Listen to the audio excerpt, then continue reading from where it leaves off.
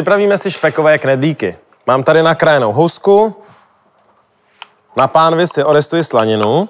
Hned co se slanina trochu orestuje, přidám ještě nakrájenou cibuli a potom trochu mléka. Housku můžu mezi tím osolit, přidám nasekanou petržel a vajíčka. Tak, přidáme cibuli. Nakonec přidáme mléko. Necháme krátce probublat a vše přidáme k housce. Zamícháme a přidáme hrubou mouku. Dobře propracujeme a necháme zhruba 10 až 15 minut odležet, aby se to všechno nasáklo do sebe. Mezitím si připravíme vodu, přivedeme ji do varu a potom už akorát tvarujeme knedlíky a zaváříme do té vroucí osolené vody.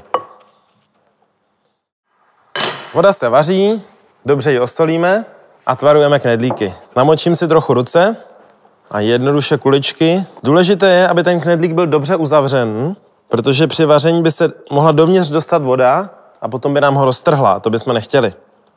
Můžeme dělat různé velikosti. Můžeme dělat menší, třeba až takhle malé, které můžeme použít jako vložku do polévky, nebo potom střední velikost, to může být jako příloha, například k vepřové pečení, a nebo potom nějaký větší knedlík, a ten může být potom jako samostatný chod, třeba s kyselým zelím, anebo s krémovým špenátem. Vaříme podle velikosti nějakých 10 až 15 minut. Knedlíky máme vařené a můžeme je vyndavat. Máme tady všechny tři velikosti.